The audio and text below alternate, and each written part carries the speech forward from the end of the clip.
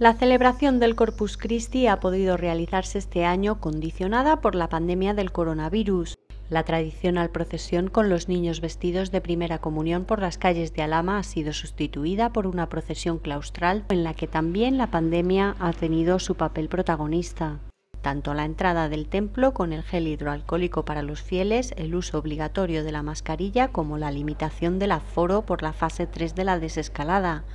en estas condiciones se ha celebrado el Corpus en San Lázaro, al tiempo que el Paso Morao ha iniciado los actos de su 75 aniversario con la colocación de un altar presidido por su imagen titular.